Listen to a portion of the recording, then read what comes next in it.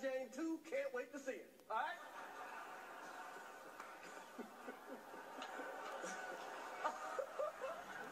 That was a that was a nice one. Okay.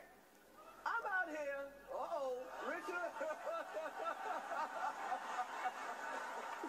oh wow. Wow. Will Smith just smacked the shit out of me. Did- Wow, dude. It was a G.I. Jane joke. Keep my wife's name out your fucking mouth! I'm going to, okay? I could, oh, okay. That was a greatest night in the history of television. Okay. Love you, G.I.